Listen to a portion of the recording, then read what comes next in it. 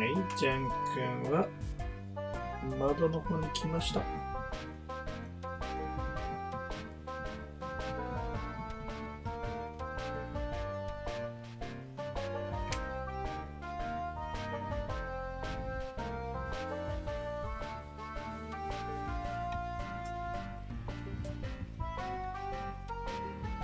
ジャン君？ポ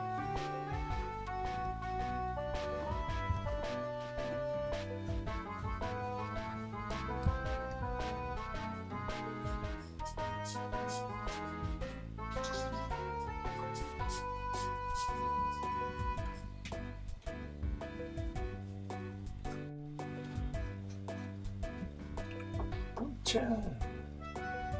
ちゃんそこあったかいね。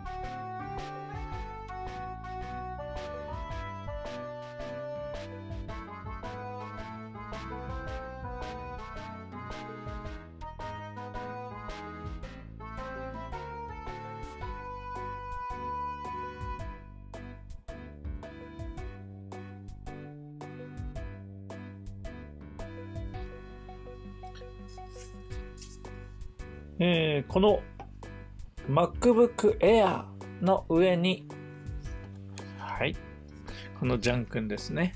ジャン君がよく乗るということで、このスノコを使っているんですけれども、わかりますでしょうか？ここの、このポッチ。これですね。えー100均で買ったこのなんて言えばいいの？クッション、えーちゃんと言おうか。クッションゴム。これをつけます。今3つついたところですね。もう1個ここにつけて。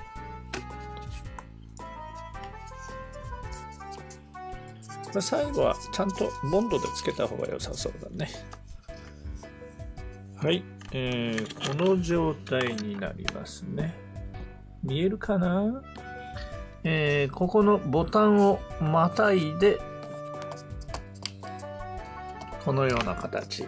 ただこの真ん中の一本ですね。これはこっちはつけられるんですけど、こっちにつけるとこの、えーここタップしちゃいますんでね。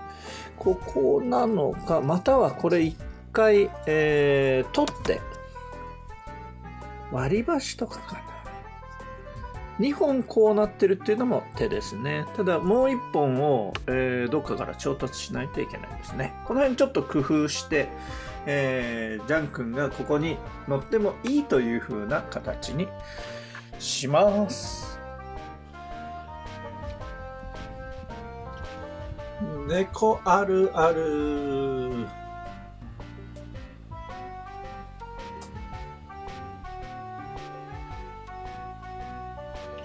えー、ノート PC の上に乗る猫ちゃんくんです。はい。あら？あっちではポンちゃんが泣いていますが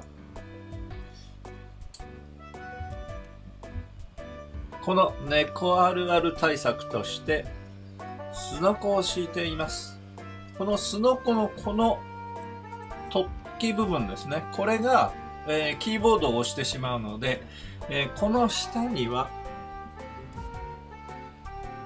ゴムではなく、これはまあビニールというかですね、の足。ゴムって書いてあるよ。あ、そう。を、えー、つけました。それで、えー、キーボードを避けている状態です。ただ、えー、ジャン君の寝相が悪ければ、ずれてですね、キーボードを押してしまうかもしれませんので、その辺はちょっと注意ですね。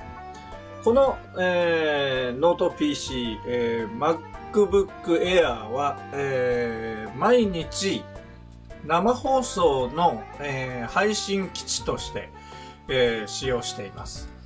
このノートが潰れるとですね、えー、生放送ができなくなってしまうんですよ。じゃんくん。お分かりか。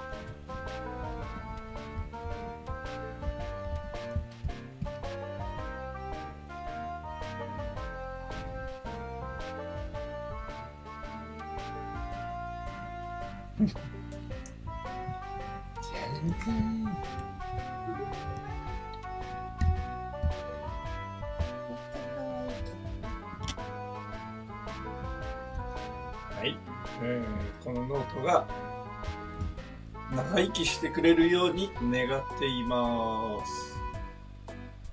ご報告でした。はい。